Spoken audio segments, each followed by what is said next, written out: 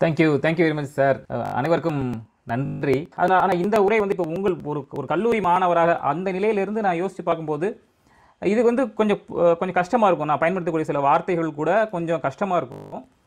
அதனால் நான் கொஞ்சம் இதை ஒரு நிதானமான ஒரு ஒரு உரையாகவே வந்து எடுத்து சொல்கிறேன் எளிய முறையிலே உங்கள் கூட நான் வந்து பேசுகிறேன் ஒரு பெரிய சொற்பொழிவு அந்த மாதிரியே நான் வந்து பேசாமல் என்னோட ஒரு சக நண்பர்கிட்ட நான் எப்படி இதெல்லாம் சொல்லி புரிய வைக்க முடியுமோ? அந்த மாதிரியாக உங்கள் கூட நான் பேசி நான் வந்து புரிய வைக்கிறேன். இப்போ இன்றைக்கு நம்ம பார்க்க போகிறது வந்து எப்படி வந்து முடிவுகளை எல்லாம் எடுக்க எடுக்கணும் அப்படின்னு சொல்லி தான் நம்ம வந்து பார்க்க போகிறோம் இதை எப்படி எந்த முறையில் நான் நான் வந்து அப்ரோச் பண்ணுறேன் அப்படின்னா நம்ம தமிழருடைய அறிவியல் முறைப்படி நம்ம முன்னோர்கள்லாம் என்ன சொல்லியிருக்காங்க? அந்த அந்த கருத்துக்களை வந்து உங்கள் உங்கள் கூட நான் வந்து பகிர்ந்துக்கிறேன். இது இதில் உள்ள எது- இது எதுவுமே வந்து என்னுடைய சொந்த கருத்து என்று கிடையாது. எல்லாமே நம்ம முன்னோர்கள் சொன்ன சொன்ன கருத்துகள். அது அதை அதை வச்சு அதை வச்சு தான் இந்த இந்த டெக்கு வந்து நான் உங்களுக்கு கொடுக்குறேன். ஸோ ஒரு முடிவு எடுக்கிறோம் அப்படின்னா நம்ம சிறந்த முடிவாக எடுக்கணும். அப்போ வந்து முதல் சிறந்த முடிவுனா என்ன அப்படின்னா நம்மளுக்கு எந்த எது நிலையான இன்பத்தை கொடுக்குமோ வாழ்க்கையில் அதுதான் வந்து ஒரு சிறந்த சிறந்த முடிவு. பெஸ்ட்டு பெஸ்ட்டு டெசிஷன் இப்போ வந்து அந்த நிலையான அப்படிங்கிறது வந்து நீங்கள் கொஞ்சம் கவனத்தில் கொள்ளணும். தற்காலிகமான இன்பத்தை ஒன்று கொடுத்தால் அது வந்து சரியான டிசிஷன் கிடையாது. இப்போது உதாரணத்துக்கு பார்த்தீங்கன்னா இப்போ இப்போ இப்போ இந்த மது அருந்தலாமா வேண்டாமா அப்படின்னு ஒரு ஒரு கேள்வி கேட்டால் இப்போ மது அருந்தினா அது வந்து ஒரு தற்காலிகமான ஒரு ஒரு தீர்வை தான் வந்து கொடுக்கும். ஆனால் அது அது வந்து பெருத்த துன்பத்தை கொண்டு போய் நம்ம ஆழ்த்தி விடும். அதனால தான் நம்முடைய திருவள்ளுவர் வந்து அவருடைய குரல்களில் வந்து மதுவை கைவிட வேண்டும் மது பழக்கம் கூடாது என்ற என்று நமக்கு சொல் நமக்கு சொல்லியிருக்கார். அது அதற்கு அதுக்கெல்லாம் அடிப்படை என்னன்னு பார்த்தீங்கன்னா அந்த நிலையான இன்பம் அதை அதை நம்மளுக்கு எந்த முடிவு கொடுக்கும் அப்படின்னு நம்ம முடிவெடுக்கணும். நம்ம வந்து கொஞ்சம் ஆராய்ச்சி செஞ்சு முடிவெடுக்கணும். இப்போது உண்மையிலே நிலையான இன்பம் என்ன அப்படிங்கிறது ஒரு ஒரு பெரிய கொஷின் மார்க் அது நான் கடைசியில் உங்களுக்கு நான் சொல்கிறேன் அது வந்து நிலையான இன்பம்னா என்ன அப்படின்னு சொல்லி சொல்கிறேன் அதை அதை கண்டுபிடிக்கிறதே வந்து பெரிய கஷ்டமான ஒரு சிக்கலான விஷயம். ஆனால் இப்போ உங்களோட வயசுக்கு நீங்களே யோசிச்சு பாருங்கள் இப்போ எது இது வந்து ஒரு இந்த முடிவு எடுத்தோம்னா தற்காலிகமான இன்பம் கிடைக்குமா? இல்லை நிலையான இன்பம் கிடைக்குமா? அப்படின்னு உங்களுடைய அறிவுக்கு இந்த வயசில் என்ன என்ன- என்ன தோணுதோ அதில் நிலையான இன்பம் உங்களுக்கு எந்த முடிவு கொடுப்பதாக தோன்றுதோ அதுதான் வந்து சிறந்த முடிவு. இப்போ எப்படி அந்த சிறந்த முடிவு வந்து நம்ம எடுக்கிறது அப்படிங்கிறத பற்றி நம்ம தொடர்ச்சியாக பார்ப்போம். இப்போது இந்த நம்மளுக்கு நிலையான இன்பம் வந்து எப்படி கிடைக்கும் அப்படின்னா நம்மளுடைய வாழ்வின் குறிக்கோளை நம்மை நம்ம அடையிறது மூலமாக நம்மளுக்கு நிலையான இன்பம் வந்து கிடைக்கும். இப்போ நீங்கள் கல்பனா சாவ்லாவை வந்து எடுத்துக்கங்க. அவங்க வந்து ஒரு சாதாரணமான ஒரு குடும்பத்தில் பிறந்தவங்க. ரொம்ப அவங்க அப்பா வந்து சும்மா ஸ்ட்ரீட் ஒர்க்கர். சாதாரணமாக வந்து தெருவில் வந்து கடை வைத்து பிழைப்பவர் தான் அவங்க அப்பா. ஆனால் அவங்க பிறந்தது அவங்க அவங்க வீட்டில் நாலு குழந்தைங்க. நாலாவது குழந்தையா கல்பனா சாவ்லா பிறக்கிறாங்க ஏழை குடும்பத்தில். அதுக்கப்புறம் அவங்க ஸ்கூலுக்கு போகிறாங்க ஸ்கூலுக்கு போய் அந்த குழந்தைய படிக்க வைக்கிறதே ரொம்ப கஷ்டம். இருந்தாலும் அவங்க அம்மா வந்து கஷ்டப்பட்டு அவங்க அம்மாவும் வேலை பார்த்து ரெண்டு பேரும் வேலை பார்த்து படிக்க வைக்கிறாங்க. படிக்க வச்சு படித்ததுக்கப்புறம் அவங்க ஆஹ், அவங்களுக்கு சின்ன வயசுலேயே அந்த ஏரோப்ளேன்லாம் பார்க்க ரொம்ப பிடிச்சிருக்கு. அப்புறம் அவங்க அப்பாட்ட வந்து கேட்குறாங்க என்னை வந்து இந்த ஏரோப்ளேன் சம்மந்தப்பட்ட கிளப்லாம் இருக்கிறத கேள்விப்பட்டிருக்கேன். அப்போ நீங்கள் கூட்டிகிட்டு போங்கன்னு சொல்கிறாங்க அது ரொம்ப கஷ்டம். அவங்க வீட்டில் அந்த கிளப்புக்கெலாம் கூட்டி போகிறதுக்கு இருந்தாலும் அவங்க அப்பா அம்மா வந்து அவங்க அந்த கிளப்புலலாம் போய் சேர்த்து விட்றாங்க. அதுக்கப்புறம் அவங்க அங்கே காலேஜ் படிக்கிறாங்க. நம்ம பஞ்சாபில் தான் படித்தாங்க காலேஜ் படிச்சுட்டு அதுக்கப்புறம் யூஎஸ் யூஎஸ் வர்றாங்க. ஒரு மாஸ்டர்ஸ் டிகிரி வாங்குறாங்க. அதுக்கப்புறம் ரெண்டாவது மாஸ்டர்ஸ் டிகிரி வாங்குறாங்க. அதுக்கப்புறம் பிஹெச்டி பண்ணுறாங்க அதுக்கப்புறமா நாசாவில் போய் ஒர்க் பண்ணுறாங்க அதுக்கப்புறம் அவங்களுடைய ஆசைப்படி நாசா வந்து ஆஸ்ட்ரானட்டாக அவங்கள வந்து சூஸ் பண்ணி அவங்க ஒரு தடவை ஸ்பேஸ் போயிட்டு வர வந்தாங்க. செகண்ட் டைம் ஸ்பேஸ் போயிட்டு வரும்பொழுது துரதிருஷ்டவசமாக திரும்பி வரும்போது அந்த விண்கலம் வந்து ஒரு விபத்தில் சிக்கி அந்த விண்கலத்தில் வந்த ஒரு ஏழு பேர் இறந்து போயிடுறாங்க. ஒரு அவங்களோட வாழ்க்கை வந்து சிறிய வாழ்க்கை தான். இருந்தாலும் ரொம்ப ஒரு இன்ஸ்பைரிங்கான ஒரு ஒரு வாழ்க்கை. அவங்க ஒரே ஒரு குறிக்கோள். அந்த சின்ன வயசில் அவங்களுக்கு பிடிச்சிருக்கு. அந்த ஃப்ளைட்டு ஃப்ளைட் எனக்கு ரொம்ப பிடிச்சிருக்கு. நானும் அந்த ஃப்ளைட்டில் நானும் அந்த ஃப்ளைட்டை ஓட்டணும். நானும் வந்து அதில் அதிலலாம் பயணம் செய்யணும் அப்படின்லாம் அவங்களுக்கு வந்து பிடிச்சிருக்கு. அந்த சின்ன வயசில் பிடிச்சிருந்த பிடிச்ச அந்த விஷயத்தை அவங்க விடாமல் அதை அவங்களுடைய வாழ்க்கையுடைய குறிக்கோளாக வச்சுக்கிட்டாங்க. அந்த இதை வந்து நீங்கள் விஷன் சொல்லலாம். அதுதான் அதுதான் இந்த இடத்துல நான் வாழ்க்கையின் குறிக்கோள் அப்படின்னு நான் தமிழில் சொல்கிறேன் அப்போது அந்த குறிக்கோளை நோக்கியே அவங்க முடிவுகளெல்லாம் எடுத்துகிட்டு போகிறாங்க ஸ்கூல் காலேஜ் அப்புறம் யூஎஸ்ல வந்து ரெண்டு மாஸ்டர்ஸ் டிகிரி பிஹெச்டி அப்போ அவங்க எடுத்த முடிவுகள் எல்லாமே எப்படி இருக்குன்னா அந்த குறிக்கோளை நோக்கியே போகுது. அப்போது நீங்கள் முடிவு எடுக்கும் பொழுது அந்த அந்த குறிக்கோள் அப்படிங்கிறது முக்கியம். நீங்கள் நான் காலேஜில் படித்தப்போ எனக்கு சில குறிக்கோள்கள்லாம் இருந்துச்சு. அந்த குறிக்கோளெல்லாம் நான் அடைஞ்சிட்டேன். அட எனக்கு என்ன குறிக்கோள் இருந்துச்சுன்னா நான் வந்து இந்த மாதிரி அமெரிக்காவில் வந்து செட்டில் ஆகணும் அப்படிங்க அப்படிங்கிற மாதிரி என்னுடைய குறிக்கோள் இருந்துச்சு. நான் அந்த அந்த குறிக்கோளை வேலை வேலையை முடிஞ்சு ஒர்க்கு ஜாயின் பண்ணி ஒரு ரெண்டு ஒரு- ரெண்டு வருஷத்துலேயே அமெரிக்கா வந்துட்டேன். அப்போ அந்த குறிக்கோளை அடைஞ்சதுக்கு அப்புறமா அதுக்கு அடுத்த குறிக்கோள் என்னன்னு எனக்கு தெரியல. அடுத்து ஒரு மூணு நாலு வருஷத்துக்கு என்ன பண்ணேன்னு எனக்கு தெரியல வாழ்க்கையில். அதுக்கப்புறமா என்னுடைய குறிக்கோள்கள் வேற மாறியது. அதை நான் என்ன சொல்கிறேன்னா கல்பனாஜாவுடைய குறிக்கோள் வந்து பார்த்தீங்கன்னா அந்த மாதிரி ஒரு ஸ்பேஸில் நடக்கணும். அது வந்து ஒரு பெரிய ஒரு குறிக்கோள். மிக சிறந்த ஒரு குறிக்கோளை சின்ன வயசுலயே அவங்க தேர்ந்தெடுத்து தேர்ந்தெடுத்துட்டனால அவங்க ரொம்ப எளிதாக முடிவுகளை எடுத்து அந்த குறிக்கோள் அடைஞ்சாங்க. இப்போ நான் வந்து பார்த்தீங்கன்னா நான் ஒரு சிறந்த குறிக்கோளை நான் தேர்ந்தெடுக்கலை. நான் வந்து அமெரிக்காவில் வந்து வாழ்றது வந்து ஒரு அது அப்போ நான் பெரிய விஷயமா நினச்சேன் ஆனால் வந்ததுக்கப்புறம் தெரிஞ்சு அது ஒன்றும் பெரிய விஷயம் இல்லை. என்ன மாதிரி எத்தனை பேர் வந்திருக்காங்க அப்படிங்கிறது எனக்கு தெரிய வந்துச்சு. அதனால் நம்ம வந்து அந்த வாழ்க்கையோட குறிக்கோளை இப்போவே இப்போ நீங்கள் காலேஜில் படிக்கும் பொழுதே நீங்கள் என்னன்னு கொஞ்சம் யோசிச்சு பாருங்கள் இதை ஒரு சிறந்த குறிக்கோளை நீங்கள் வந்து இப்பொழுதே நீங்கள் வைத்துக் கொண்டீர்கள் என்றால் உங்களுக்கு வந்து அந்த நிலையான இன்பத்தை பெறுவதற்கு ஏற்றபடியாக நல்ல முடிவுகளை நீங்கள் வந்து வாழ்வில் எடுப்பீர்கள். அதனால் இந்த குறிக்கோளை எப்படி எப்படி செட் பண்ணிக்கிறது அப்படின்னு நீங்கள் கொஞ்சம் இப்போ இப்போ இருந்தே நீங்கள் யோசிக்கிறது நல்லது. அதே போல் கீழே ஒரு ஒரு சின்ன ரகசியம் போட்டிருக்கேன். பரம ரகசியம் உண்மையிலே நிலையான இன்பம் என்னன்னு சொல்லிட்டு அதை நான் உங்களுக்கு கடைசியில் சொல்கிறேன் இது ரொம்ப கொஞ்சம் ரொம்ப ஆழமாக போகும். அதனால் இப்போ அதை பற்றி நான் பேச வேணாம். இப்போ அடுத்ததாக ஒரு முடிவு முடிவுன்னு ஒன்று நம்ம எடுக்கிறோம் அப்படின்னா அதாவது சிறந்த முடிவாக நம்ம எடுக்கணும்னா எப்போ எப்போ எடுக்கணும் அப்படின்னு சொல்லி நம்ம பார்க்குறோம் நம்ம வந்து மனசு வந்து அமைதியாக இருக்கணும். நம்ம வந்து ஒரு டென்ஷனில் வந்து எடுக்கக்கூடாது இந்த இந்த முடிவுகளெல்லாம்.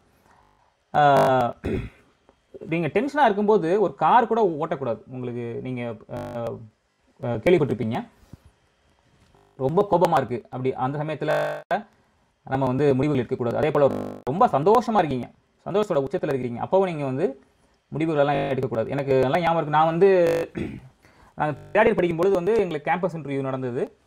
அப்போ வந்து காக்னிசன்ட் வந்து எங்களுக்கு கேம்பஸ் இன்டர்வியூ பண்ணாங்க. அந்த இன்டர்வியூவில் நான் வந்து செலக்ட் ஆகிட்டேன் செலக்ட் ஆன அன்னைக்கு என்னால் வந்து தூங்கவே முடியல.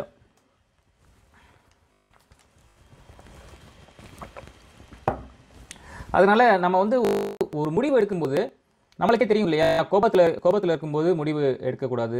ரொம்ப சந்தோஷமாக இருக்கும்போது முடிவு எடுக்கக்கூடாது. ரொம்ப தெளிவான மனநிலையில் இருக்கும்போது எடுக்கணும். அதுவும் எப்போ எடுக்கணும்னா ஒரு காலை பொழுது. நல்ல நல்ல தூக்கம் நல்ல ஆழ்ந்த தூக்கம். அதை முடிஞ்சதுக்கப்புறம் நம்மளுக்கு ஒரு காலையில் எழுந்திரிச்சோம்னா நம்மளுக்கு ஃப்ரெஷ்ஷாக ஃபீல் ஆகும் பார்த்தீங்களா அந்த சமயத்தில் தான் நம்ம வந்து முடிவுகளை எடுக்க வேண்டும். அப்பொழுது தான் அவை வந்து சிறந்த முடிவுகளாக இருக்கும். இ- இன்னும் ஒரு ஒரு சின்ன ஒரு சூட்சமம் என்ன ரகசியம் என்ன அப்படின்னா நம்மளுக்கு ரொம்ப திணறோன்னு வச்சுக்கோங்களேன் ஒரு சில முடிவுகள் எடுக்கிறதுக்கெலாம் எனக்கு ரொம்ப குழப்பமா இருக்குது நிறைய நிறைய முடிவுகள் இருக்குது இதில் சரியான முடிவுன்னு எனக்கு தெரியலை. அப்படி ரொம்ப குழப்பமா இருக்குது அப்படின்னா அப்போ என்ன பண்ணலாம் அப்படின்னா அந்த குழப்பமான அந்த எல்லா குழப்பங்களையும் உங்களுடைய அந்த உள் மனசுக்கிட்ட விட்டுற விட்டுருங்க விட்டுட்டீங்க அப்படி விட்டுட்டு தூங்கிட்டீங்கன்னா காலையில் நீங்கள் எந்திரிச்சு ப்ரஷ் பண்ணிட்டு இப்போ காஃபி சாப்பிட்றீங்க காஃபி சாப்பிட உட்காரும் பொழுது உங்களோட அந்த உள் மனசு உங்களுக்கு சொல்லும் இதுதான் கரெக்டான முடிவு அப்படின்னு சொல்லி அது எப்படி சொல்லுது ஏன் சொல்லுதுன்னெலாம் நம்மளுக்கு வந்து தெரியாது. அதுக்கு அதுக்கு பின்னாடி நிறைய மெய்ஞானம் சார்ந்த விஷயங்கள்லாம் இருக்குது நம்மளுடைய நம்மளுக்கு இருக்கிற அந்த பீனியல் கிளாண்டுன்னு ஒரு கிளாண்ட் இருக்குது உள்ள. அது வந்து இப்போ இப்படிப்பட்ட சிக்கலான முடிவுகளுக்கு தீர்வு காண்பதற்கென்றே நம்மளுக்கு கடவுள் கொடுத்துருக்காரு. அந்த பீனியல் கிளாண்டு வந்து நைட்டு நேரத்தில் வந்து இந்த பிரபஞ்ச சக்திகளோடலாம் தொடர்பு கொண்டு அது சரியான முடிவுகளை நம்மளுக்கு வந்து நம்மளுக்கு வந்து காட்டும். இப்போ இதுக்கு ஒரு உதாரணம் என்னன்னு பார்த்தீங்கன்னா நம்ம பென்சின்னு சொல்லி ஒரு மூலக்கூறுப்பை மூலக்கூறு ப- நம்ம வந்து பார்த்துருப்போம். சி சிக்ஸ் ஹச் சிக்ஸ்னு சொல்லி நம்ம ஸ்கூலில் படிக்கும்போது நீங்கள் படிச்சிருப்பீங்க. ஒரு ஹெக்ஸகன் மாதிரியான வடிவத்தில் போடுவோம். அந்த அந்த அந்த பென்சி பென்சீனுக்கான அந்த மூலக்கூறு வடிவம் இருக்குது பார்த்தீங்களா அந்த ஹெக்ஸகன் வடிவம். அந்த ஹெக்ஸகன் வடிவத்தை வந்து கண்டுபிடிக்கிறதுக்கு அந்த ஒரு சயின்டிஸ்ட் வந்து ரொம்ப முயற்சி பண்ணாங்க. இப்படி இப்படி ஒரு அமைப்பு இருக்குமான்னு சொல்லி ரொம்ப அவர் வந்து குழப்பத்திலே இருந்தாராம். அப்போ அவர் வந்து அந்த குழப்பத்தில் இருந்துட்டு அவர் போய் தூ தூங்க போயிருக்காரு. தூங்க போகும்போது அவருக்கு கனவு வந்துச்சான் கனவு வந்து என்னென்னா ஒரு பாம்பு வந்து அதோட வாழை பிடிச்சிக்கிட்டு சுற்றுற மாதிரி வா- வாழை படு கடிச்சிக்கிட்டு சுற்றுற மாதிரி கனவு வந்துச்சான் கனவு வந்த உடனே தான் அவர் இந்த மாதிரி டயக்ராம் போட்டிருக்காரு. ஆறு கார்பன் அணுக்கள் அப்புறம் ஆறு ஹைட்ரஜன் அணுக்கள் மாதிரி போட்டு சிசி சிக்ஸ் சிக்ஸ்னு சொல்லி போட்டார். அப்போ இது இது இது வந்து நான் ஒரு ஒரு உதாரணம் தான் நான் உங்களுக்கு சொல்கிறேன் இப்படி நிறைய உதாரணங்கள் இருக்குது நம்மளுடைய அறிவியல் அறிஞர்களுடைய வாழ்க்கை வாழ்க்கையை பார்த்தாலும் சரி இல்லை ஞானியருடைய வாழ்க்கையை நீங்கள் எடுத்து பார்த்தாலும் சரி நிறைய பேருக்கு வந்து தூக்கத்துக்கு முன்னாடி குழப்பத்தில் தூங்கினவங்களுக்கு காலையில் எழுந்திரிச்ச உடனே முடிவு கிடச்சிருக்கு. அதனால தான் நான் சொல்கிறேன் ஒரு நல்ல காலை பொழுதுல சிக்கலான சிக்கலான விஷயங்களை எடுத்து வச்சு நீங்கள் வந்து முடிவுகள் எடுக்கலாம் அப்படின்னு சொல்கிறேன் நம்ம முன்னோர்கள் வந்து நம்மளுக்கு வந்து ஒரு அறிவுரை சொல்லிட்டு போயிருக்காங்க. என்னென்னா காலையிலே எந்திரிச்சு நம்ம மூச்சு பயிற்சி செய்யணும் அப்படின்னு சொல்லி. அப்போது காலையில் எந்திரிச்சு மூச்சு பயிற்சி டெய்லி நீங்கள் செஞ்சுட்டு வந்தீங்கன்னா உங்களுக்கு வந்து நிறைய பலன்கள் கிடைக்கும். அது மனம் தெளிவாக இருக்கும். அப்போ தெளிவாக இருக்கும்பொழுது நீங்கள் நல்ல முடிவுகளை வந்து நிறைய எடுக்கலாம். அப்போ அடுத்த பக்கத்துக்கு போவோம். நல்லது இப்போ அடுத்த இந்த ஒரு ஒரு நாலு ஸ்லைடில் வந்து நான் என்ன பேசுகிறேன் அப்படின்னா இந்த முடிவு எடுக்கிறதுல எ- எ- என்ன இப்படிலாம் எப்படிலாம் நிலைகள் இருக்குது. எப்படிலாம் நம்மளுடைய இந்த உடல் அதில் உள்ள கருவிகள் அதெல்லாம் எப்படி பயன்படுத்தப்படுகிறது அப்படின்னு சொல்லி நம்ம வந்து பார்க்குறோம். இப்போது இதை நம்ம ஏன் தெரிஞ்சுக்கிறணும் அப்படின்னா நம் நம்மளுக்கு என்னெல்லாம் எப்படி இந்த முடிவெடுக்கு முடிவெடுக்கும் இந்த செயல் வந்து நம்ம உடம்புக்குள்ளே எப்படி நடக்குது நம்ம வாழ்க்கை எப்படி நடக்குதுன்னு நம்ம தெரிஞ்சுக்கிட்டோம்னா அந்த அந்த நிலைகளில் சில கருவிகளை சில பயிற்சிகளை எல்லாம் நம்ம வந்து உட்புகுத்துறது மூலமாக நம்ம வந்து இன்னும் சிறந்த முடிவுகளை நம்ம எடுக்கலாம். இப்போ வந்து நம்ம நம்ம கண்ணை பற்றி நம்ம தெரிஞ்சுக்கிட்டோம் அப்படின்னா அதுக்கப்புறமா நம்ம வந்து டெலஸ்கோப் வச்சு நம்ம கண்ணால் வெறும் ஒரு நிலா நட்சத்திரங்கள் இதை தான் பார்க்க முடியுது. ஆனால் நம்ம கண்ணை பற்றி நம்ம நல்லா தெரிஞ்சு தெரிஞ்சுக்கிட்டதுக்கப்புறம் டெலஸ்கோப்லாம் வச்சு நம்ம நம்மளுடைய கண்ணுடைய சக்தியை அதிகப்படுத்தி இன்னும் நட்சத்திரங்களை தாண்டி இருக்கக்கூடிய அண்டங்கள் இது எல்லாத்தையும் கூட நம்மளால் வந்து பார்க்க முடியுது இல்லையா?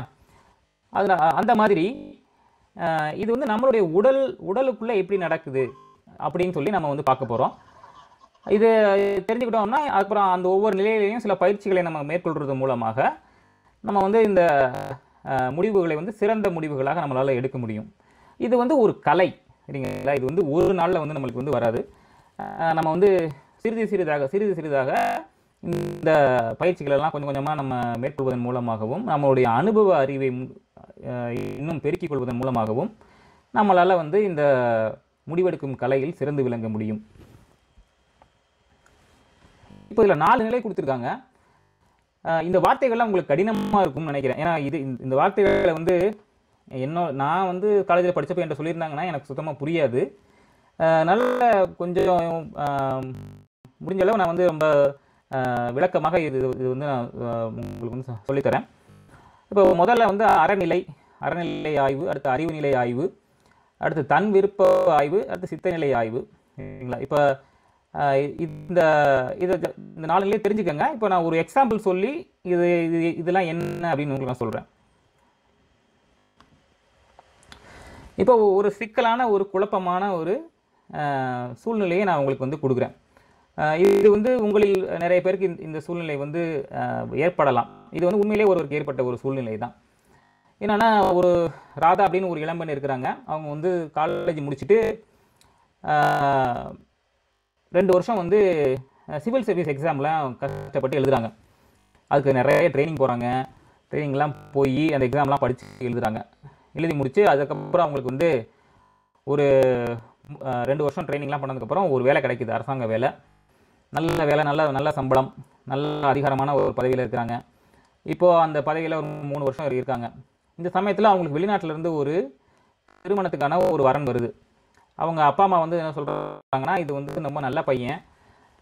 நல்லா படிச்சிருக்காரு நல்லா சம்பாதிக்கிறாரு. அவங்க குடும்பமும் நல்ல குடும்பமாக இருக்குது. அதனால் இந்த திருமணத்தை வந்து நம்ம வந்து நடத்திடலான்னு சொல்லி நினைக்கிறோம் அப்படின்னு அவங்க அப்பா அம்மா சொல்கிறாங்க அப்போ அந்த திருமணம் பண்ணணும் பண்ணதுக்கப்புறம் அவங்க வெளிநாட்டுக்கு போகணும் வெளிநாட்டுக்கு போயிட்டு அவங்களுக்கு இந்த அரசாங்க வேலை வந்து போயிடும் அப்போ ரெண்டு வருஷம் கஷ்டப்பட்டு படித்து இந்த வேலை வாங்கினது எல்லாமே வீணாக போய்விடும். இப்போது அவங்களுக்கு வந்து ஒரு குழப்பமான ஒரு சூழ்நிலை இப்போ. இப்போ இந்த திருமணத்துக்கு ஒத்துக்கொள்வதா இல்லை வேண்டாமா? திருமணம் செய்கிறது முக்கியமா இப்போ? இல்லை இந்த வேலையிலேயே தொடர்ந்து இருப்பது முக்கியமா? அப்படின்னு ஒரு சிக்கலான ஒரு ஒரு முடிவை வந்து அவங்க வந்து எடுக்கணும். இப்போ எப்படி அவங்க வந்து எடுக்கிறாங்க? அப்படின்னு சொல்லி நம்ம வந்து பார்ப்போம். அதாவது எப்படி எந்தெந்த நிலையிலலாம் வந்து ஆராய்ச்சி செஞ்சு ஒரு இறுதி முடிவை அவங்க வந்து எடுக்க எடுக்கிறாங்க அப்படின்னு பார்க்குறோம். அப்போது அதை தான் வந்து இந்த ஸ்லைடு வந்து விளக்குகிறது. அப்போ எந்த ஒரு முடிவானாலுமே அடிப்படையில் நம்ம என்ன கேட்கணும்னா அது வந்து கரெக்டாக அதாவது இது வந்து லீகலி கரெக்டாக லீகலா அப்படின்னு சொல்லி பார்க்கணும். நம்ம வந்து இல்லீகலான ஆக்டிவிட்டியில் எப்போவுமே ஈடுபடக்கூடாது. இல்லீகலான ஆக்டிவிட்டியில் நம்ம ஈடுபட்டோம் அப்படின்னா நம்மளுக்கு வந்து அதனால் நிறைய துன்பங்கள் வரும். வாழ்நாள் முழுவதும் துன்பத்தில் நம்ம வந்து மாட்டிக்கொள்வோம். அதனால் நம்ம வந்து சட்டத்திட்டங்களுக்கு உட்பட்டு அது வந்து சரியான ஒரு செயலா அப்படிங்கிறத நம்ம முதல்ல வந்து பார்க்கணும். சரியான ஒரு முடிவை நம்ம எடுக்கிறோமா அப்படின்னு பார்க்கணும். அப்போ அந் அதை தான் இங்கே அறம் அப்படின்னு நான் சொல்கிறேன் அறம்னா வந்து லீகல்னு நீங்கள் எடுத்துக்கலாம். ஆனால் இந்த அறம் அப்படிங்கிறது வந்து ஒரு சற்று ஒரு கடினமான ஒரு வார்த்தை. வெறும் வெறும் லீகல் அப்படின்னு அப்படின்னு நான் ஆங்கிலத்தில் சொன்னாலும் கூட அந்த சட்டம் அதையும் அதையும் தாண்டிய ஒரு முதிர்ந்த நிலை அதுதான் வந்து அறம். ஆனால் இப்போ நீங்கள் உங்களுக்கு புரிகிற அளவுக்கு எடுத்துக்கணும்னா அது லீகலா அப்படின்னு மட்டும் பாருங்கள் உங்களுக்கு உங்களுக்கு தெரியும் இல்லையா கட்டாயமாக இப்போ ஒரு ஏ- போலீஸ் பிடிக்குமா நம்மளை அரெஸ்ட் பண்ணுமா? அந்த- மாதிரி நீங்கள் யோசிச்சு பாருங்கள் அப்போ இது வந்து சரி சரியான ஒரு காரியமாக தவறான ஒரு காரியமா? அப்படின்னு சொல்லி. அப்போ இப்போ இந்த கல்யாணம் பண்ணுறது பண்ணாலும் சரிதான் பண்ணாட்டாலும் சரிதான். அதனால் அந்த இடத்துல வந்து எதுவும் உங்களுக்கு சிக்கல் குழப்பங்கள்லாம் இல்லை. அடுத்து ரெண்டாவது நம்ம பார்க்குறோம். ரெண்டாவது வந்து நம்மளுடைய அறிவை வச்சு நம்ம வந்து ஆராய்ச்சி செஞ்சு பார்க்குறோம். இப்போ அறிவு வச்சுன்னா உங்களுடைய உங்களுடைய நாலேஜை வச்சு நீங்கள் வந்து அந்த முடிவு முடிவுடைய ப்ரோஸ் அண்ட் கான்ஸ் எல்லாம் எடுத்து பார்க்குறீங்க. அதுதான் நான் இங்கே சாதகம் பாதகம் சொல்லி சொல்லி சொல்லியிருக்கேன். இது வந்து நீங்கள் வந்து ஒரு ஒரு பேப்பர் பேனா வச்சு ஒரு டேபிள் மாதிரி போட்டு நீங்கள் வந்து போட்டு பார்க்கலாம். அல்லது இதுக்கு நிறைய மெத்தட்ஸ் இருக்குது. இப்படி டேபிள் மாதிரி போட்டு தான் கண்டுபிடிக்கணும்லாம் கிடையாது. நீங்கள் இன்ஜினியரிங் படிக்கிறீங்க நீங்கள் டெசிஷன் மேக்கிங்னு நீங்கள் பார்த்தீங்கன்னா இந்த ஃபிஷ் போன் டயக்ராம்லாம் சொல்லுவாங்க. நிறைய ஆங்கில அறிவியல்லாம் ஒரு பெஸ்ட்டு டெசிஷன் எடுக்கிறதுக்கு என்னன்னு சொல்லி உங்களுக்கு சொல்லிக் கொடுப்பாங்க. அவங்க சொல்லிக் கொடுக்குற மெத்தட்ஸ் எல்லாமே வந்து இந்த அறிவு நிலையில் வந்து நீங்கள் பொருத்தி பார்க்கலாம். நிறைய இந்த மாதிரி மெத்தட்ஸு ஸ்ட்ராட்டஜிஸு மார்க்கெட்டிங் மார்க்கெட்டிங் பண்ணுற கம்பெனிஸ்லாம் மார்க்கெட்டிங் ஸ்ட்ராட்டஜிஸ்லாம் எப்படி இருக்கும்? இது இது எல்லாமே பார்த்திங்கன்னா அறிவு. இது வந்து புத்தியை யூஸ் பண்ணி கண்டுபிடிக்கக்கூடியது. எது வந்து பெஸ்ட்டு பெஸ்ட் டெசிஷன் எந்த டெசிஷன் வந்து என்னோட கம்பெனிக்கு வந்து நல்ல நிறைய ப்ராஃபிட் கொடுக்கும்? என்ன மாதிரி மார்க்கெட்டிங் பண்ணால் நான் வந்து நிறைய கஸ்டமர்ஸை அட்ராக்ட் பண்ண முடியும். இந்த மாதிரிலாம் ரிசர்ச் பண்ணுறது நம்மளுடைய இந்த புத்தியை வச்சு. அதுதான் நான் இந்த இந்த இடத்துல இந்த நம்மளுடைய ராதா அவங்களுக்கு என்னெல்லாம் வந்து மேரேஜ் பண்ணால் பெனிஃபிட்ஸ் இல்லை மேரேஜ் பண்ணாமல் போட்டால் என்ன பெனிஃபிட்ஸ் அப்படின்னு சொல்லி ஒரு பாயிண்ட்ஸ் போடுறோம். ஒவ்வொரு அந்த ரோலையும் ஒரு பெனிஃபிட் போட்டு அதுக்கு நான் ஒரு மா மார்க்கும் கொடுத்துருக்கேன். இந்த மார்க் வந்து அவங்களுடைய தனிப்பட்ட அவங்களுக்கு தோன்ற அவங்களுக்கு தோன்ற மார்க்கு இப்போ வந்து வெளிநாட்டு வாழ்க்கை வெளிநாட்டு வேலை வெளிநாட்டுக்கு போனால் அது கிடைக்கிது. அதுக்கு வந்து நான் முப்பது மார்க் கொடுத்துருக்கேன். அதாவது ராதாவுக்கு வந்து வெளிநாட்டு வாழ்க்கை வெளிநாட்டு வேலைலாம் பெரிய ரொம்ப அட்ராக்டிவாக இல்லை. இப்போ இதே வேறு பொண்ணு இருக்காங்கன்னு வச்சுக்கோங்களேன் அவங்களுக்கு அவங்களுக்கு வந்து தோணுது. வெளிநாட்டு வாழ்க்கை அங்கே இருக்கிறதெல்லாம் ரொம்ப சந்தோஷமாக இருக்கும். வெளிநாட்டெல்லாம் பார்த்த மாதிரி இருக்கும். அப்போ அங்கே போய் வேலை பார்க்குறது நல்லாயிருக்கும் அதனால் அவங்களுக்கு ரொம்ப பிடிச்சிருந்தா அவங்க அதுக்கு நூறு மார்க் கூட கொடுப்பாங்க.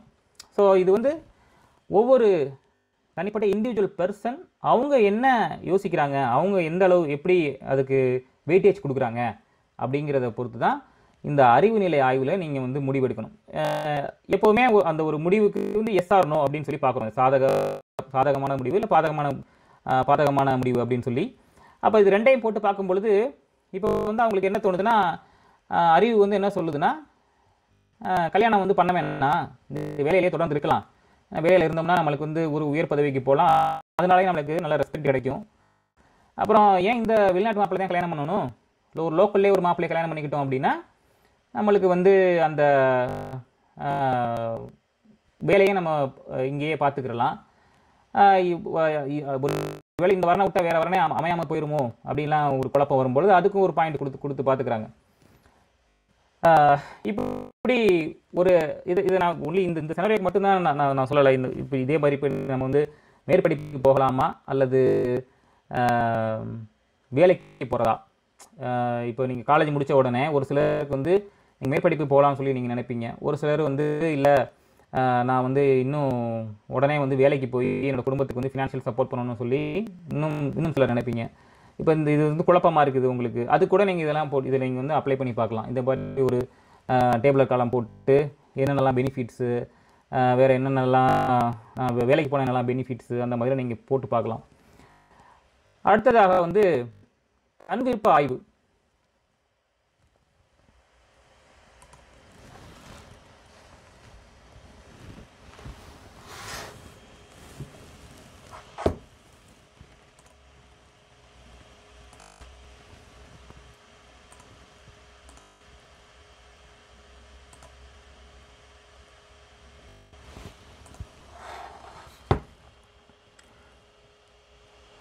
வணக்கம்.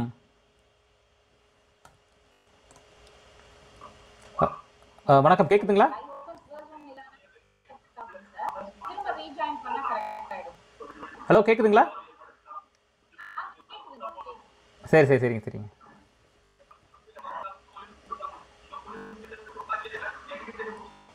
ஸ்டார்ட் பண்ணட்டா முடியும்? ஓகேங்க ம்.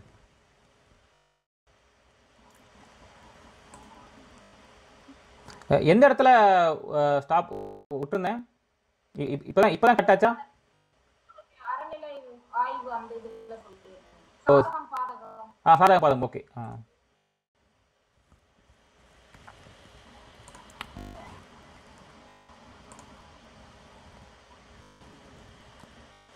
என்னோட ஸ்க்ரீன் தெரியுதுங்களா? சரிங்க.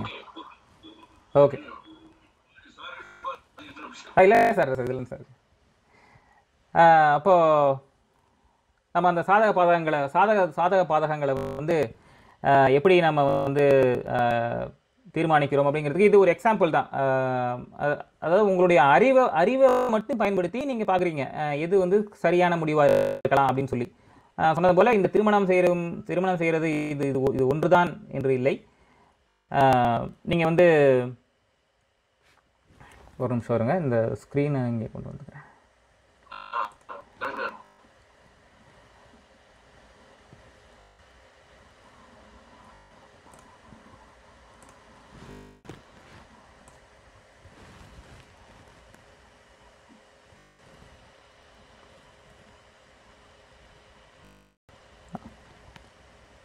ஓகே உங்களுக்கு ஸ்க்ரீன் தெரியுது இல்லைங்க இதில்? பார்க்குறப்ப உங்களுக்கு? ஆ சரிங்க சார். நல்லது. அதுக்கு அதுக்கப்புறமா வந்து மூன்றாவது நிலை என்ன அப்படின்னா மூன்றாவது நிலை வந்து தன் விருப்ப ஆய்வு. அதாவது உங்களோட உணர்வு. இந்த இந்த உணர்வு உணர்வு அப்படின்னா ஏன் மனசுக்கு பிடிச்சிருக்கா?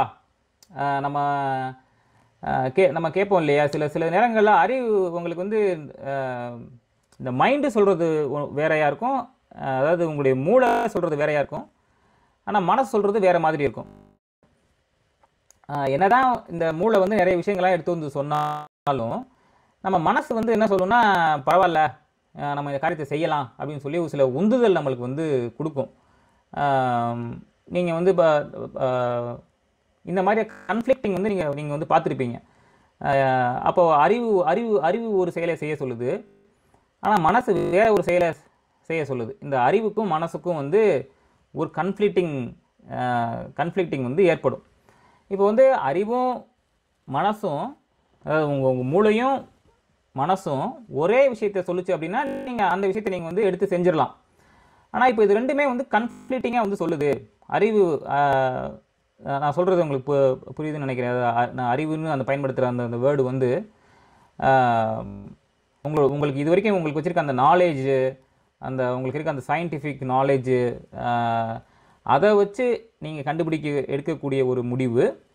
ஆனால் உங்கள் உள் மனசு சொல்கிற முடிவு வந்து வேற ஒரு வேற ஒரு முடிவாக இருக்குது. இது இப்படி ரெண்டு மாறுபட்ட முடிவு இருக்கும் பொழுது அப்போது எப்படி நம்ம வந்து ஃபைனல் டிசிஷன் எடுக்கிறது அப்படின்னா அதுதான் வந்து ஃபோர்த்து ஸ்டேஜ் அதுதான் வந்து சித்த நிலை ஆய்வு என்று அப்படின்னு நம்ம முன்னோர்கள் சொல்கிறாங்க இந்த இந்த கன்ஃபியூஷன் நம்மளுக்கு ஏற்படும் போது நம்ம என்ன செய்யணும் அப்படின்னா நம்மளுடைய முன்னோர்கள் இல்லைன்னா நம்ம நம்மளோட ஃப்ரெண்ட்ஸு நம்மளோட அப்பா அம்மா இவங்க கிட்டலாம் வந்து நம்ம வந்து அறிவுரை பெற்று அந்த அறிவுரையின்படி நாம் வந்து ஒரு ஒரு நல்ல முடிவு வந்து எடுக்கலாம். அப்போது இப்போ நம்ம ராதாவுக்கு வந்து இந்த கன்ஃப்ளிக்டிங் டெசிஷன் எடுக்கும்பொழுது இப்போ ராதா வந்து அவங்க அப்பாட்ட போய் பேசுகிறாங்கன்னு வச்சுக்கோங்களேன். இப்போ அவங்க கூட ஒர்க் பண்ணுறவங்களாம் சொல்கிறாங்க இந்த பார் ராதா நீ வந்து ரெண்டு வருஷம் கஷ்டப்பட்டு இந்த வேலையை வந்து வாங்கியிருக்க. அங்கே போயிட்டேன்னா இந்த இப்படி இப்படிப்பட்ட வேலையை விட்டுட்டு அங்கே என்ன பண்ணுவோம் அங்கே உனக்கு வேலை கிடைக்குமா? அப்படின்லாம் கூட உள்ளவங்களாம் சொல்கிறாங்க ஃப்ரெண்ட்ஸ்லாம் எப்படி சொல்கிறாங்க அப்பா அம்மாட்ட வந்து கேட்டால் அப்பா அம்மா சொல்கிறாங்க இந்த நீ வந்து ஃப்ரெண்ட்ஸை கேட்டிங்கன்னா உன் ஃப்ரெண்ட்ஸுக்கு எப்படி இதுக்கு வந்து அட்வைஸ் பண்ண முடியும்? அவங்க வந்து மேரேஜ்லாம் வந்து அவங்க அவங்க அவங்களும் அவங்களும் இன்னும் மே மேரேஜ் பண்ணாதவங்களா தான் இருக்கிறாங்க. அதனால் உண்மையிலே உனக்கு வந்து கரெக்டான அட்வைஸ்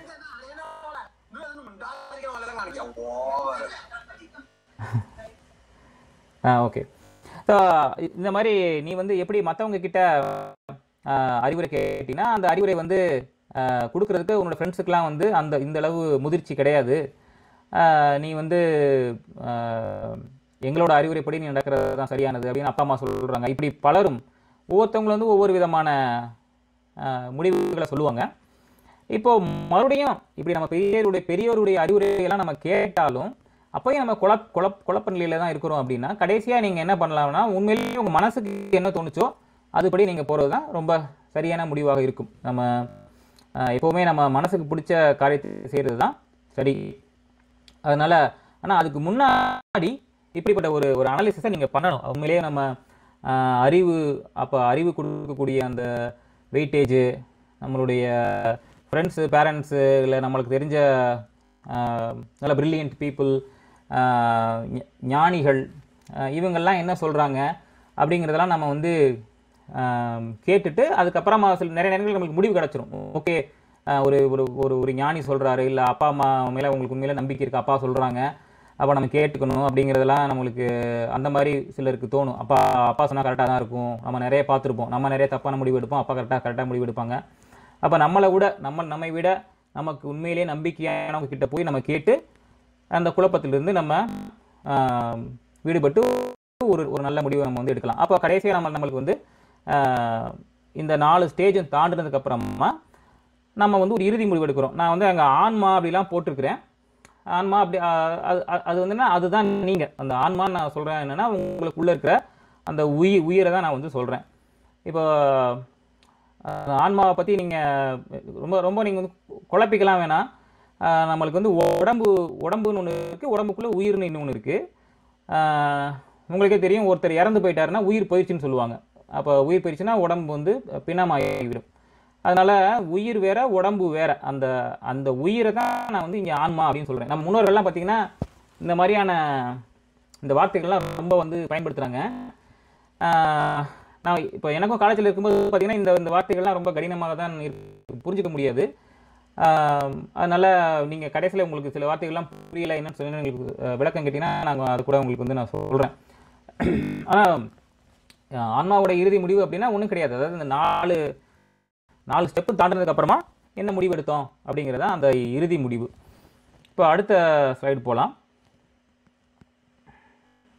இப்போ இந்த ஆன்மா இறுதி முடிவு எடு எடுத்ததுக்கப்புறமா நம்ம நம்ம ஒரு ஃபைனல் டிசிஷன் எடுத்ததுக்கப்புறமா நம்ம வந்து அந்த முடிவை வந்து எக்ஸிக்யூட் பண்ண ஆரம்பிச்சிடும் திருமணம் செய்யலாம் அப்படின்னு முடிவு எடுக்கிறோம்னா சரி அடுத்து வேலையை விட்டு திருமணம் திருமணம் செய்ய போயிடுவோம் இல்லை நீங்கள் அதே போல் மேற்படிப்பு போகலாமா அல்லது வேலைக்கு போகலாமா இப்படி எடுக்கும்போது கடைசி ஒரு முடிவு எடுத்துட்டிங்கன்னா அதுக்கப்புறம் அதை நீங்க நம்ம வந்து எக்ஸிக்யூட் பண்ண ஆரம்பிச்சிருவோம்.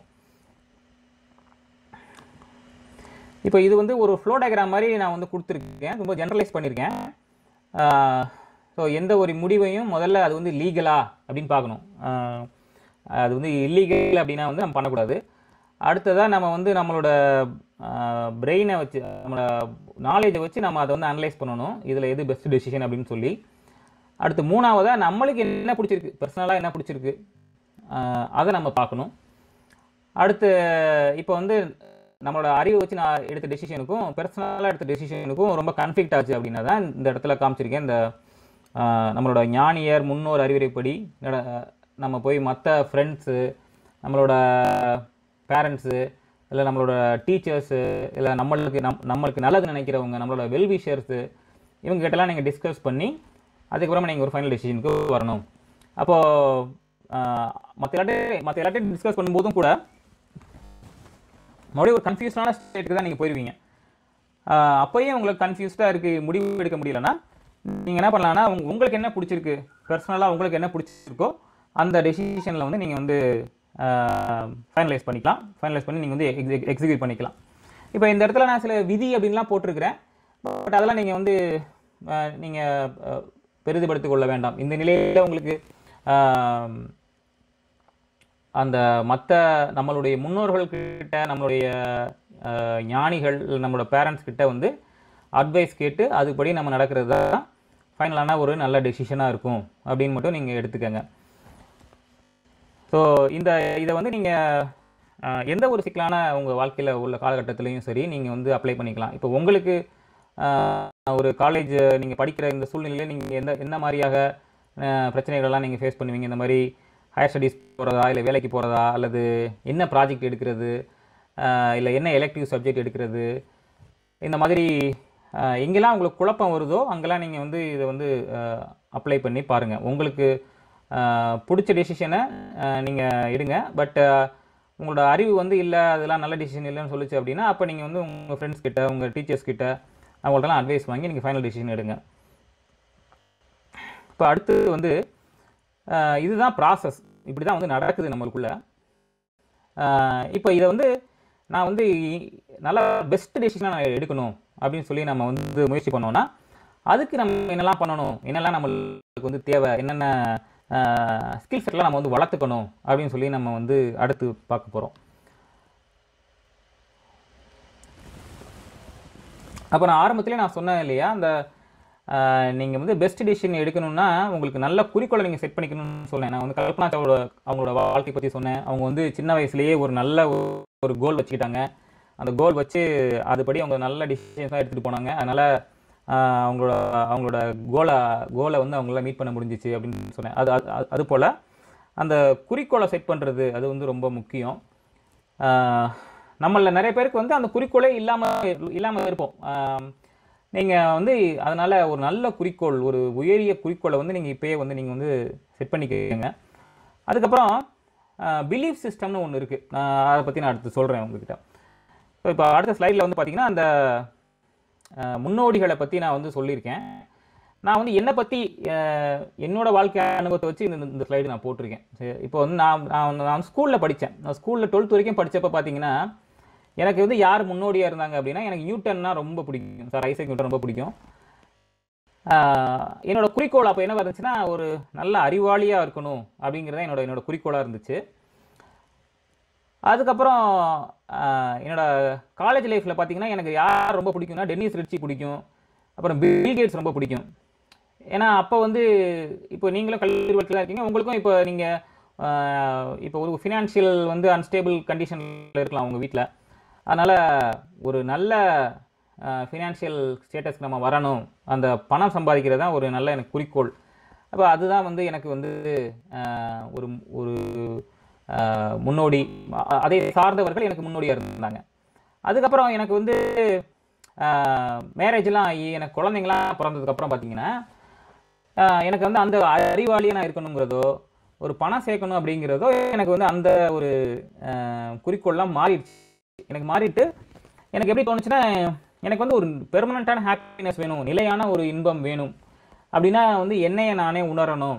அப்படின்னு சொல்லி என்னுடைய அந்த குறிக்கோள்லாம் மாறிச்சு அப்புறம் எனக்கு யார் என்னோட இப்போ இப்போ என்னோட முன்னாடியே யார் இருக்காருன்னா தொல்காப்பியர் அப்படி தொல்காப்பியர் அப்படின்னு ஒருத்தர் அவர் தான் என்னுடைய முன்னோடியாக இருக்கார். இப்போ இவர் தொல்காப்பியர் யாருன்னா இவர் வந்து ஒரு பெரிய ஒரு ஒரு தமிழ் ஞானி தொல்காப்பியம் அப்படிங்கிற ஒரு நூலை வந்து எழுதியிருக்காரு. கிட்டத்தட்ட ஏழாயிரம் வருஷத்துக்கு முன்னாடி அவர் வந்து எழுதியிருக்காரு. பட் உங்களுக்கு வந்து அந்த அளவு வந்து இப்போது இந்த வயசில் உங்கள் இடத்துல நான் என்னை வச்சு நான் யோசித்து பார்க்கும்போது எனக்கு இந்த தொல்காப்பியர் இதெல்லாம் வந்து அந்த- எனக்கு வந்து தெரியாது. நான் இந்த இடத்துல உங்களுக்கு என்ன சொல்ல வரேன்னா நம்ம நம்மளுடைய அந்த வயசு அதிகமாக அதிகமாக அதிகமாக நம்மளுடைய குறிக்கோள்களும் நம்மளுடைய முன்னோடிகளும் வந்து மாறிக்கொண்டே இருப்பார்கள். அப்போ நீங்கள் வந்து மாற்று மாற்றுவதில் தவறு இல்லைன்னு சொல்கிறேன் அதாவது ஒன்று ஒன்றை பிடிச்சோம்னா அப்படியே அதிலே வந்து பிடிவாதமாக இருக்க வேண்டும். அப்படின்னு நீங்கள் வந்து நினைக்காதீங்க. ஏன்னா நீங்கள் வாழ்க்கையில் வந்து நீங்கள் போக போக போக உங்களுக்கு வந்து நிறைய முதிர்ச்சிகள் ஏற்பட்டு கொண்டே இருக்கும். நிறைய எக்ஸ்பீரியன்சஸ்லாம் உங்களுக்கு கிடைக்கும். நிறைய நாலேஜ் உங்களுக்கு இன்க்ரீஸ் ஆகும். இப்போ ஆஃபீஸ்க்குலாம் நீங்கள் ஆஃபீஸ் ஒர்க்குலாம் நீங்கள் போனதுக்கப்புறம் பார்த்தீங்கன்னா அங்கே ரொம்ப ஆஃபீஸ் ப்ரெஷர் இருக்கும். அதெல்லாம் நீங்கள் ஃபேஸ் பண்ணுவீங்க. எது அதெல்லாம் எதிர்த்து எதிர்நீச்சல் போட்டு போவீங்க. அப்போ அதெல்லாம் எதிர்நீச்சல் போட்டு போகும்போது உங்களுக்கு உங்களுக்கு அப்போ தான் தெரியும். எனக்கு நான் ரொம்ப ப்ரில்லியண்ட்டாக இருக்கிறேன். ஆனால் என்னால் வந்து ஒரு சின்ன ஒரு என்னோடய மேனேஜர் என்னை திட்டிட்டாரு அப்படின்னா என்னால் என்னால் தாங்க முடியல. அப்போ அப்போ ஏன் என்னால் தாங்க முடியல? இவ்வளோ நாளும் வந்து என்னோடய ஸ்கூலில் ஸ்கூலில் காலேஜிலலாம் வந்து நான் வந்து ஒரு பெஸ்ட் ஸ்டூடெண்ட்டாக நான் இருந்தேன். ஆனால் இங்கே ஒர்க்கில் வந்து ஏதோ ஒரு சின்ன ஏதோ ஒரு ஒரு ஹூமன் எரர் பண்ணியிருக்கேன் அதுக்கு வந்து என்னோட மேனேஜர் வந்து என்னை சத்தம் போடுறாரு. அப்போ அதை என்னால் தாங்கிக்க முடியல. அந்த பிரச்சனை என்னால் தாங்கிக்க முடியல. அப்போ என்னன்னா நீங்கள் நம்ம அப்போ நம்ம இது வரைக்கும் ஸ்கூல் காலேஜில் வந்து நம்ம வந்து தோல்வியவே நம்ம வந்து எதிர்கொள்ளலை. தோல்வியை கட்டு நம்ம பயந்துட்டு இருக்கோம் அப்படின்னு தான் நம்ம நம்ம வந்து பார்க்கணும். அப்போ இந்த மாதிரி ஃபஸ்ட் டைம் நம்ம வந்து தோல்வியை நம்ம வந்து எதிர்கொள்கிறோம் ஒரு ஒரு ஒர்க் என்வரன்மெண்ட்டில் வந்து பார்த்தீங்கன்னா ஒரு புதிய புதுசு புதிய ஒரு என்வரன்மெண்ட் ஆனால் என்ன ஆகும் அப்படின்னா அப்போது ஃபர்ஸ்ட் டைம் நம்ம வந்து தோல்வியை எதிர்கொள்கிறோம் கஷ்டமாக இருக்கும். அப்புறம் அடுத்தடுத்து அடுத்தடுத்து ஒரு ஆறு மாதத்தில் பார்த்தீங்கன்னா நம்ம புரிஞ்சுக்குவோம். ஓஹோ இதுதான் ப்ராப்ளம் போல் நம்மளுக்கு. அப்போ இதெல்லாம் கட் பண்ணிட்டோம்னா இங்கே வந்து நம்ம வந்து சக்ஸஸ்ஃபுல்லாக ஆயிடலாம் அப்படின்னு சொல்லி. அப்போ தோல்விகளை தோல்விகளை நாம் எதிர்கொண்டு அது- அதை வெற்றி படிகளை படிக்கட்டுகளாக மாற்றும் அந்த அனுபவங்கள் அதெல்லாம் நம்மளுக்கு வந்து வேலைக்கு போனதுக்கப்புறம் கிடைக்குது. இப்படி நம்ம வாழ்க்கையில் பிரச்சனைகளெல்லாம் நிறைய ஃபேஸ் பண்ணி ஃபேஸ் பண்ணி இது எதிர்கொள்ளும் போது நம்மளுக்கு வந்து ஒரு நம்மளை நம்மளை மனசுக்குள்ளே ஒரு கான்ஃபிடென்ட் ஒரு சேஞ்செலாம் ஏற்படும். அதை தான் நான் இங்கே வந்து குறிப்பிட்டிருக்கேன். அப்போ ஆறு ஸ்கூலில் படிக்கும்போது என் அப்போ இருந்த எனக்கு என்னோட எக்ஸ்பீரியன்ஸ் அறிவுக்கு எனக்கு யூட்டன் தான் பெரிய மனுஷன் தான் தெரிஞ்சார். அப்புறம் காலேஜ் படிக்கும்போது டென்னிஸ் ரிச்சி சி லாங்குவேஜ் வந்து உருவாக்கியிருக்காரு. அப்படியேங்கப்பா எவ்வளோ பெரிய மனுஷன் டென்னிஸ் ரிச்சி? அவருக்கெல்லாம் கோயில் கட்டி கும்பிடணும். எவ்வளோ நாலேஜபிள் பர்சன் எவ்வளோ சூப்பராக ப்ரோக்ராமிங் நாலேஜ் கிரியேட் பண்ணியிருக்காரு. பில்கேட்ஸ் எவ்வளோ ஒரு கம்ப்யூட்டர் விண்டோஸ் இன்வென்ஷன் கண்டுபிடிச்சு அவர் எவ்வளோ பெருசாக வந்து பணம் சேர்த்துருக்காரு அப்படின்னு சொல்லி நியூட்டனை நியூட்டன் டென்னிஸ் ரிச்சிக்கெல்லாம் எல்லாம் கூட பில்கேட்ஸ் ரொம்ப இவங்களுக்குலாம் இவங்களுக்கெல்லாம் வந்து சும்மா அறிவு தான் இருந்துச்சு. அந்த அறிவை பணமாக மாத்திர வித்த தெரியல அவங்களுக்கு. அப்போ பில்கேட்ஸ் தான் வந்து நம்மளுக்கு முன்னோடி அப்படின்னு சொல்லி நான் நினச்சேன். அப்போ அதுக்கப்புறம் பார்த்தீங்கன்னா இந்த மாதிரி லைஃப்பில் ஒர்க்லாம் நிறைய பிரச்சனைகள் ப்ராப்ளம்லாம் இருக்குது அதெல்லாம் சால்வ் பண்ணிட்டு வரும்பொழுது தான் நம்மளுக்கு வந்து தெரியுது. இந்த மாதிரி வெறும் அறிவு அறிவாளியாக இருந்தாலும் ஒரு பெரிய பணக்காரனாக இருந்தாலும் மட்டும் நம்ம ஹாப்பியாக வந்து இருக்க முடியறதில்ல. அப்போ அதையும் தாண்டிய சில விஷயங்கள்லாம் இருக்குது. அப்போ அதெல்லாம் வந்து நம்ம நான் வந்து தேட நம்ம வந்து தேட ஆரம்பிப்போம். எல்லாருமே ஒரு கட்டத்தில் இப்பெல்லாம் தேட ஆரம்பிப்போம். அதை தான் நான் உங்களுக்கு இந்த இடத்துல சொல்லியிருக்கேன். அப்போது நீங்கள் வந்து இப்போ கல்பனா சாவ்லா நம்ம வந்து இப்போ அவங்கள பற்றி பேசணும். அவங்களுக்கு சின்ன வயசில் வந்து இந்த மாதிரி ஒரு ஸ்பேஸில் போய் ஸ்பேஸ் வாக் பண்ணணும் அப்படிங்கிறதான் ஒரு பெரிய விஷனாக வச்சுருந்தாங்க. அதை அந்த ஒரு ஒரு ஹையான ஒரு விஷயம் வச்சிருந்தனால அதை அவங்க அப்படியே ஃபாலோ பண்ணிட்டு போயிட்டாங்க. இப்போ நான் வந்து பார்த்தீங்கன்னா சின்ன சின்ன ஒரு கோல் தான் வச்சு அஹ் வச்சிருந்தேன். அதனால் அதெல்லாம் நான் ரீச் பண்ண அப்புறம் நான் ஐ கீப் சேஞ்சிங் இட் அந்த அதை தான் நான் சொல்கிறேன் நீங்கள் வந்து உங்களுக்கு வாழ்க்கையில் நீங்கள் முன்னும் அடுத்த நிலைக்கு போகும்போது உங்களுடைய அந்த குறிக்கோள்களெல்லாம் வந்து மாற்றிக்கிட்டே வாங்க. உங்களோட நீங்கள் யாரை வந்து கோலாக செட் பண்ணுறீங்க யாரை பார்த்து இம்ப்ரெஸ் ஆகுறீங்க? அதெல்லாம் வந்து நீங்கள் மாற்றிக்கிட்டே வாங்க. அதே போல் இப்போ உங்களுக்கு நிறைய சீமான சீமா நடிகர்கள்லாம் பிடிக்கலாம். சில செலிபிரிட்டிஸ்லாம் வந்து பிடிக்கலாம். பட் இந்த வயசில் வந்து உங்களுக்கு அப்படி தான் வந்து தோணும். அவங்க அந்த இப்போ சினிமாவில் அவங்க காட்டுற விஷயங்கள்லாம் வந்து உண்மை அப்படிங்கிற மாதிரி உங்களுக்கு தோணும். ஆனால் அது எல்லாமே வந்து ஒரு வித மாயை தான். அதனால் நீங்கள் யாரை சூஸ் பண்ணுறீங்க உண்மையிலே நீங்கள் யாரை வந்து ஒரு ரோல் மாடலாக வச்சுக்கிறீங்க அப்படிங்கிறது ஒரு முக்கியம். நீங்கள் வந்து ஒரு சினிமா செலிபிரிட்டிஸை வந்து நீங்கள் ரோல் ரோல் மாடலாக வச்சுக்கிறத விட ஒரு உண்மையான பர்சன் உண்மையிலே ஹார்ட் ஒர்க் பண்ணி உண்மையாக இருக்காங்க இருக்காங்க பார்த்தீங்களா அவங்கள வந்து நீங்கள் ரோல் மாடலாக வச்சுக்கிறது வந்து ரொம்ப ஒரு சிறந்த ஒரு அப்ரோச்சாக இருக்கும். அப்படி வச்சுக்கிட்டிங்கன்னா அவங்க நீங்கள் லைஃப்பில் டிசிஷன் எடுக்கும்போதும் ஈஸியாகவும் இருக்கும் உங்களுக்கு. இப்போ அடுத்த ஸ்லைடுக்கு போவோம். இந்த ஸ்லைடில் நான் என்ன சொல்கிறேன் அப்படின்னா அடிப்படை நம்பிக்கைகளை பற்றி பேசுகிறேன் இந்த நம்பிக்கைகள்னால் என்ன அப்படின்னா நம்ம நம்ம நிறைய வந்து ஆக்ஷன்ஸ் பண்ணுறோம் தெரியும் வாழ்க்கையில் வந்து நிறைய வந்து செயல்களை வந்து செயல்கள் செய்கிறோம் நிறைய ஆக்ஷன்ஸ் பண்ணும்போது எப்படி இந்த ஆக்ஷன்ஸ்லாம் எடுப்போம் அப்படின்னா அது எல்லாத்துக்கும் காரணம் வந்து நம்மளுடைய எண்ணம் நம்மளுடைய தாட்ஸ் நம்ம என்னெல்லாம் நம்மளுக்கு நிறைய எண்ண எண்ணங்கள் வந்து தோன்றிக்கொண்டே இருக்கும். எப்படி கடல் இருக்குது பார்த்தீங்க கடல் இருக்குது கடலில் அலைகள் வந்துகிட்டே இருக்குது பார்த்தீங்களா அந்த மாதிரி உங்களுடைய உள்ளுக்குள்ளேருந்து உங்கள் மனசு வந்து நிறைய இந்த மாதிரி அலைகளை வந்து கொடுத்து கொண்டே இருக்கும். என்ன எண்ண அலைகளே கொடுத்து கொண்டே இருக்கும்? இது இந்த எண்ணங்கள்லாம் எங்கேருந்து வருது? அதெல்லாம் வந்து டீப் அனாலிசிஸ் ஓகேங்களா? ஆனால் அந்த எண்ணங்களுக்கு அடிப்படையாக காரணம் வந்து என்ன இருக்கும் அப்படின்னா நம்மளுக்குன்னு ஒரு பிலீஃப் சிஸ்டம் நம்ம நம்ம நம்மளுக்குள்ள இருக்கும். இப்போது இப்போ வந்து நம்புறீங்க என்ன நம்புறீங்கன்னா ஐஃபோன் வந்து அப்டேட் பண்ணால் என் லைஃப் வந்து பெட்டர் ஆகும்னு நீங்கள் நினைக்கிறீங்க. நீங்கள் முதல்ல ஒரு அஞ்சாறு வருஷத்துக்கு முன்னாடி பார்த்தீங்கன்னா இப்போ ஐஃபோன் சிக்ஸ்னு ஒன்று இருந்துச்சு. அப்போ ஆப்பிள் கம்பெனி அவங்க என்ன சொன்னாங்கன்னா ஐஃபோ ஐஃபோன் அடுத்த வருஷம் ஐஃபோன் சிக்ஸுக்கு அப்புறம் ஐஃபோன் செவன் ரிலீஸ் பண்ணாங்க. இப்போ என்ன சொன்னாங்கன்னா எல்லாத்தையும் நீங்கள் ஐஃபோன் சிக்ஸை விட செவன் யூஸ் பண்ணிங்கன்னா Apple will make your life better அப்படின்னு சொன்னாங்க. இல்லையா?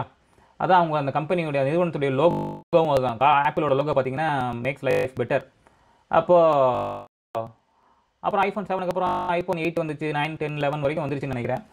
அப்போ அந்த ஆப்பிள் நிறுவனம் சொல்கிறத நீங்கள் நம்புறீங்க.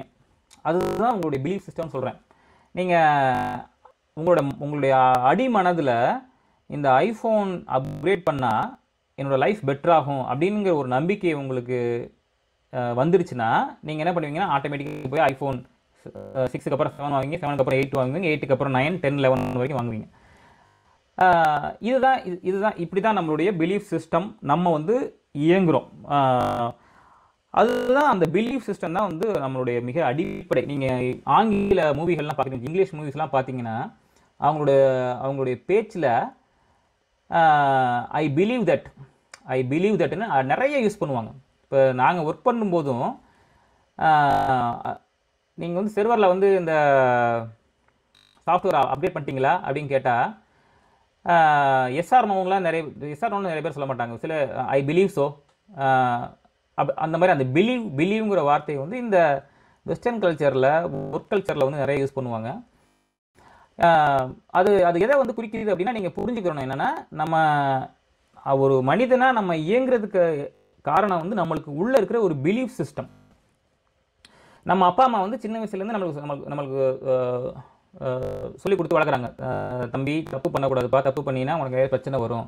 இது ஒரு பிலீஃப் சிஸ்டம் சரிங்களா? இந்த மாதிரியான நிறைய பிலீஃப்ஸ் நம்மளுக்குள்ளே இருக்குது. அந்த பிலீஃப்ஸை பேஸ் பண்ணி தான் நம்ம வந்து முடிவுகளை எல்லாம் எடுப்போம். அதனால தான் நான் என்ன சொல்கிறேன்னா நீங்கள் வந்து ஒரு ஒரு வாழ்க்கையில் வந்து ஒரு தவறான முடிவு எடுத்து துன்பப்படுறீங்க அப்படின்னா அந்த அந்த சமய அந்த காலகட்டத்தில் நீங்கள் நான் ஏன் இந்த தவறான முடிவு எடுத்தேன் அப்படின்னு சொல்லி யோசிக்கணும். அப்புறம் அந்த தவறான முடிவுக்கு காரணமாக என் மனசுக்குள்ளே இருக்கிற பிலீஃப் என்ன? எந் என்ன நம்பிக்கைனால நான் இப்படி தவறான ஒரு முடிவை நான் வந்து எடுத்துட்டேன்? அப்படின்னு சொல்லி நம்ம வந்து பார்க்கணும். சில சமயம் நம்ம நினைக்கலாம் ஒரு சின்ன தப்பு தானே பண்ணிடலாம் யார் யார் தெரிய போகுது? அப்படின்னு சொல்லிட்டு. ஆனால் அதனால நீங்கள் வந்து பெரிய பிரச்சனையில் பின்னாடி வந்து நீங்கள் சிக்கி சி- சிக்கி பாதிக்கப்படுவீங்க. அப்போ அந்த மாதிரி ஒரு பெரிய பிரச்சனை நீங்கள் சிக்கி தவிக்கும் பொழுது நீங்கள் வந்து யோசித்து பார்க்கலாம். அப்போ நம்ம தவறே பண்ணக்கூடாது. சிறிய தவறுகளை கூட நம்ம வந்து தவிர்த்திடணும். நம்மளுக்கு தவறுன்னு தெரிஞ்சிருச்சுன்னா நம்ம சின்ன தவறு கூட செய்யக்கூடாது அப்படின்னு சொல்லி அந்த நம்பிக்கை அடிப்படையில் இருக்க அந்த நம்பிக்கையை வந்து நம்ம வந்து மாற்றிக்கொள்ள வேண்டும். அதுதான் அதுதான் இந்த இந்த ஸ்லைடில் நான் வந்து சொல்கிறேன் கீழே ஒரு பரம ரகசியம் சொல்லி ஒன்று போட்டிருக்கிறேன். அதாவது மாற்றம் என்பது மட்டும் மாறாது. என்னும் நம்பிக்கையே வந்து தவறானது. அதாவது இந்த இந்த மாதிரி கார்ப்பரேட் கம்பெனிகள்லாம் சொல்கிறாங்க பார்த்தீங்களா நீங்கள் மாற்றிட்டே இருங்க இல்லை அப்டேட் பண்ணிகிட்டே இருங்க. உங்களுடைய லைஃப் மாறி இப்படிலாம் சொல்கிறாங்க இல்லையா?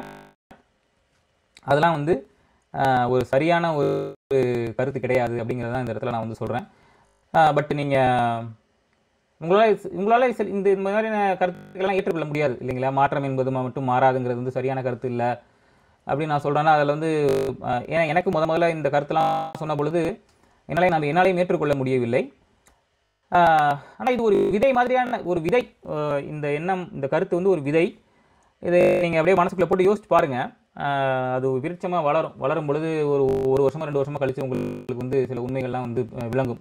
உண்மையிலேயே ஆப்பிள் ஐஃபோனை நீங்கள் அப்கிரேட் பண்ணனால உங்கள் லைஃப் வந்து பெட்டராகிச்சா கடந்த அஞ்சு வருஷத்தில் அப்படின்னு சொல்லி யோசிச்சு பாருங்கள் கட்டாயமாக ஆயிருக்காது அதே மாதிரி தான் இருக்கும் லைஃபு ஸோ அதுதான் நம்ம முன்னோர்கள்லாம் சொல்லியிருக்காங்க. இப்போ அடுத்து அடுத்த நிலைக்கு போவோம்.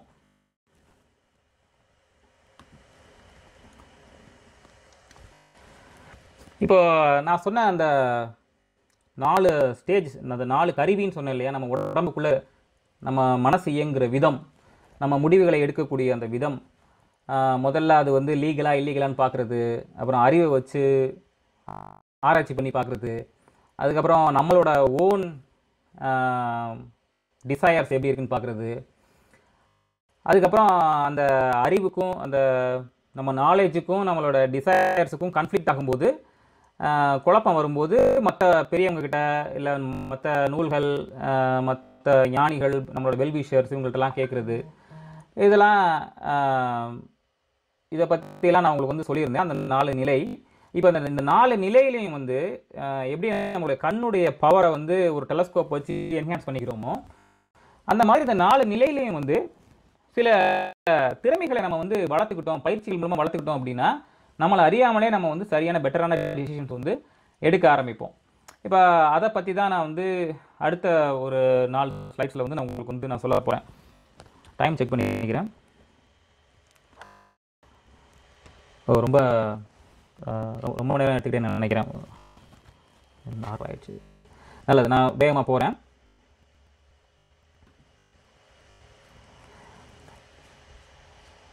இப்போ அந்த ஃபஸ்ட்டு அந்த அறநிலைன்னு சொன்னேன் இல்லையா? அதாவது எது வந்து லீகல் எது லீகல் எது நாட் லீகல் அப்படின்னு உங்களுக்கு தெரியணும் அப்படின்னா உங்களுக்கு வந்து என்ன வேணும் அப்படின்னா இந்த திருக்குறள் வேணும். சரிங்களா?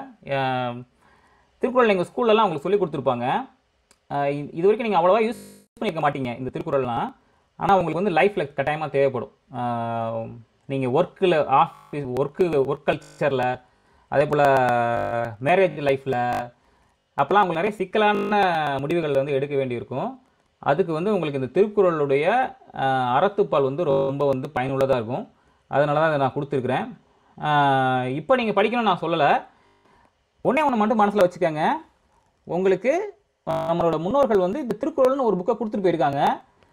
எப்பயாவது கன்ஃபியூ எப்பயாவது டிசிஷன் எடுக்க கஷ்டமாக இருக்குது எனக்கு எது கரெக்டுனே தெரியல. எது சரி எது தப்புன்னு எனக்கு தெரியல. அப்படி ஒரு உங்கள் மனசு குழப்பம் இல்லையா அப்போ வந்து நீங்கள் இந்த புக்கை வந்து ஓப்பன் பண்ணி பாருங்கள் ஓகேயா இந்த புக்கை விட பெஸ்ட்டாக வந்து உங்களுக்கு வந்து இது இது கரெக்டு தப்பு அப்படின்னு வந்து வேறு எந்த புக்கும் வந்து உங்களுக்கு சொல்லாது. ஓகேயா அடுத்தது வந்து இந்த உணர்வு சார்ந்த அதாவது எனக்கு எது பிடிக்குது அப்படின்னு சொல்லி நம்ம வந்து கண்டுபிடிக்கணும் இல்லையா? அப்போ அது எனக்கு எது பிடிக்குதுன்னு நம்ம நம்ம கண்டுபிடிக்கிறதுக்கு சில சில பயிற்சிகள் நம்மளுக்கு தேவை. நீங்கள் இது இது- இது சாதாரணமான சாதாரணமாக நம்ம வந்து எடுத்துக்க முடியாது. என் மனசுக்கு உண்மையிலே என்ன பிடிக்குது அப்படிங்கிறதுக்கு அதுக்காக சில சில சில பயிற்சி முறைகள் இருக்குது. ஸோ அதுக்கு அடிப்படையில் ஒரு புரிதல் நம்மளுக்கு வந்து வேணும். என்னென்னா நம்ம மனசு எப்போவுமே எப்படி இயங்கும் அப்படின்னா ஒரு லேயர் இருக்குது அந்த லேயர் தான் என்னென்னா அகவாழ்வு புறவாழ்வுன்னு ரெண்டு லேயர் வச்சுருக்குது நம்ம நம்ம மனசு. அந்த அகவாழ்வுனா என்ன அப்படின்னா நீங்கள் அப்புறம் உங்களோட பார்ட்னர் உங்களோட லைஃப் பார்ட்னர் இப்போ உங்களுக்கு கல்யாணம் ஆகலை. பட் கல்யாணம் ஆனதுக்கப்புறம் உங்கள் நீங்களும் உங்கள் லைஃப் பண்ணுற நீங்கள் ரெண்டு பேர் மட்டும் வந்து உங்களோட மனசுக்குள்ளே ஒரு ஒரு ஒரு சர்க்கிளில் இருப்பீங்க. மற்ற எல்லாருமே ஓகேங்களா? அடு- அடுத்த சர்க்கிள் போட்டிங்கன்னா அடுத்து உங்களுடைய அப்பா அம்மா உங்களுக்கு பிறக்க வர குழந்தைங்க உங்கள் ஃபேமிலி ரிலேஷன்ஷிப்ஸ் ஃப்ரெண்ட்ஸு இவங்க எல்லாம் அடுத்த ஒரு சர்க்கிளில் இருப்பாங்க. அதுக்கு அடுத்த ஒரு சர்க்கிளில் தான் வந்து மற்ற இப்போ அரசியல்வாதிகள் நாட்டு தலைவர்கள் அவங்கெல்லாம் வந்து அடுத்த சர்க்கிளில் இருப்பாங்க. இந்த இந்த டிஃப்ரென்ஸை நீங்கள் வந்து புரிஞ்சுக்கணும். இப்படி தான் நம்ம மனசு வந்து இயங்கும். எப்போவுமே நம்ம உள் மனசுக்குள்ளே வந்து ரெண்டு பேர் அந்த மூணாவது ஆள் வந்து ரொம்ப ஹிடனு கடவுள் அதுக்குள்ளே போவேன் நான் இப்போ. அப்போ அந்த நம்ம நம்ம லைஃப் பண்ணுற இவங்க ரெண்டு நம்ம ரெண்டு பேரும் வந்து ஒரு மனசுக்குள்ளே ஒரு ஒரு ஒன்றாக இருப்போம். அதுக்கப்புறமா அதுக்கு வெளியில் புறவாழ்வில் மற்றவங்க எல்லாம் இருப்பாங்க. இதை நீங்கள் வந்து தெரிஞ்சுக்கங்க. ஏன்னா இந்த இது வந்து நீங்கள் வந்து முடிவுகளெல்லாம் எடுக்கும்போது யார் யாருக்கு நம்ம முக்கியத்துவம் கொடுக்கணும்? யாருக்கு அதை அதை நம்ம சொல்லணும்? அப்படிங்கிறதுக்கெலாம் வந்து இந்த டயக்ராம் வந்து உங்களுக்கு வந்து ரொம்ப உதவிகரமாக இருக்கும். இது நம்ம முன்னோர்கள் வந்து இப்படி தான் நம்மளுக்கு சொல்லி கொடுத்து போயிருக்காங்க. உங்கள் மனசு வந்து இப்படி தான் இயங்கும்னு சொல்லி. அதை அகவாழ்வு புறவாழ்வுன்னு பிரிச்சிருக்காங்க. அடுத்தது என்ன பயிற்சி எடுக்கணும்? இந்த உணர்வு நிலையில் நான் வந்து நல்லா என்னை பற்றி நல்லா தெரிஞ்சுக்கணும் அப்படின்னா என்ன உ- என்ன மாதிரி பயிற்சி எடுக்கணும்னு நான் ஏற்கனவே சொல்லியிருக்கேன். மூச்சு பயிற்சி தான் அடிப்படை. அதுக்கப்புறம் நீங்கள் தியானம் யோகாசனம் இறை வழிபாடு இதெல்லாம் நீங்கள் செஞ்சிங்கன்னா உங்களுக்கு வந்து அந்த உணர்வு சார்ந்த புரிதல்கள் அதிகமாகும். அதாவது எமோஷனல் இன்டெலிஜென்ஸ்னு சொல்லுவாங்க இங்கிலீஷில். நீங்கள் பார்த்தீங்கன்னா இப்போ பில்கேட்ஸ் எடுத்துக்கிட்டிங்கன்னா அவர் வந்து அவருக்கு வந்து நாலேஜ் அதிகமாக இருக்குது அறிவு அதிகமாக இருக்கும். ஆனால் எமோஷனல் இன்டெலிஜென்ஸ் அவருக்கு அதிகமாக இருக்குன்னா அவருக்கு அதிகமாக இருக்காது. நாலேஜ் அதிகமாக இருக்கிறவங்க வந்து பெரிய பணக்காரங்களாக இருப்பாங்க. ரொம்ப பணக்காரங்களாக இருப்பாங்க. ரொம்ப பெரிய புகழாக புகழோடு இருப்பாங்க. ரொம்ப பெரிய பதவிகளெல்லாம் இருப்பாங்க. ஆனால் அவங்கக்கிட்ட ஹாப்பினஸ் இருக்கான்னு கேட்டிங்கன்னா அது கொஷின் கொஷின் மார்க் தான். இப்போ பில்கேட்ஸ் வந்து ஹாப்பியாக இருக்காரான்னு கேட்டிங்கன்னா அது கொஷின் மார்க் தான். ஆனால் அதே இது எமோஷ்னலாக இன்டெலிஜென்ட்டாக இருப்பாங்க. எமோஷ்னலாக இன்டெலிஜென்ட்னா தன் அவங்களுக்கு அவங்களுக்கு தெரியும். எனக்கு என்ன வேணும் அப்படின்னு வந்து அவங்களுக்கு தெரியும். அதனால் அவங்களோட உணர்வுகளை வந்து அவங்க வந்து அந்த எமோஷன்ஸ்லாம் அவங்களுக்கு வந்து புரிஞ்சு வச்சுருப்பாங்க. அதனால் அவங்க வந்து ஹாப்பியாக இருப்பாங்க. பில்கேட்ஸை விட அவர் அவ்வளோ காசு எல்லாம் வச்சுருந்தாலும் ஒரு எமோஷ்னல் இன்டெலிஜென்ட்டாக ஒரு பர்சன் இருக்காருன்னா அவருக்கு அவர் தான் வந்து உண்மையிலே ஹாப்பியாக இருப்பார். ஸோ ஒரு இந்த டிஃப்ரென்ஸ் இருக்குது அது ரெண்டுக்கும். அப்போது நீங்கள் ஹாப்பியாக இருக்கணும் அப்படின்னா நீங்கள் வந்து அந்த மூச்சு பயிற்சி தியானம் இதெல்லாம் வந்து நீங்கள் வந்து பண்ணீங்க அப்படின்னா உங்களுக்கு வந்து நிறைய அந்த எமோஷனல் இன்டெலிஜென்ஸ் வந்து வரும். இந்த இந்த இந்த வேர்டே வந்து உங்களுக்கு மேபி உங்களுக்கு புதுசாக இருக்கலாம். அந்த எமோ எமோஷனல் இன்டெலிஜென்ஸ் வந்து அப்படிங்கிற வேர்டே புதுசாக இருக்கலாம். பட் அந்த எமோஷனல் இன்டெலிஜென்ஸ் தான் வந்து உங்களை லைஃப் லாங் வந்து ஹாப்பியாக வந்து இருக்க வைக்கும். இப்போ என்னோடய ப்ராஜெக்ட் மேனேஜ்மெண்ட் வேலைக்கெல்லாம் பார்த்தீங்கன்னா ஒரு சில ப்ராஜெக்ட் ரெக்யூர்மெண்ட்டே பார்த்தீங்கன்னா யூ ஷுட் பி எமோஷனலி இன்டெலிஜென்ட்னு வரும். We are looking for emotionally intelligent person சொல்லி வரும். ஏன்னா நிறைய ப்ரெஷர் வரும். ஒரு பத்து பதினஞ்சு டி டிஃப்ரெண்ட் டீமில் இருப்பாங்க. ஒவ்வொருத்தரும் அவங்களோட ரெக்யூர்மெண்ட்டை சொல்லிக்கிட்டு அவங்க கஷ்டத்தை சொல்லிக்கிட்டு முடியாதுங்கிற மாதிரி சொல்லுவாங்க. நிறைய ப்ரெஷராக இருக்கும்.